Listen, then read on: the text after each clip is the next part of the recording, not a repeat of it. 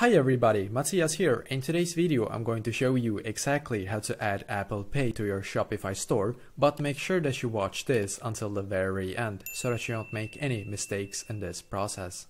So what I'm going to do first is to log into my Shopify account and then go into my Shopify store. And now when I have done so, then I should come to this page right here. Well, now what I need to do is to click where it says settings. So click on settings in here.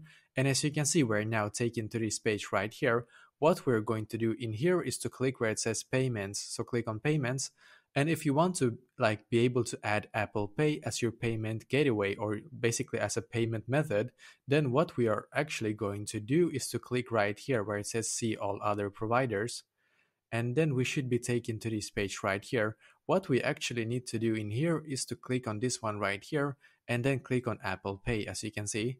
And as you can see, we get all of these like payment like providers in here that actually also should offer Apple Pay as their like uh, yeah, as you can see, Apple Pay is offered as a payment option for this payment provider right here. So basically, to be able to have Apple Pay on your store, you need to be able to have some of these like uh, providers in here, basically. So this is exactly how to do so. So let me know in the comments below if you have any questions, and I will do my very best to try to help you. And also, please leave a like on this video and subscribe to my channel because I'm doing a lot of helpful videos constantly that might be very useful to you. Thank you very much for watching and I wish you an awesome day.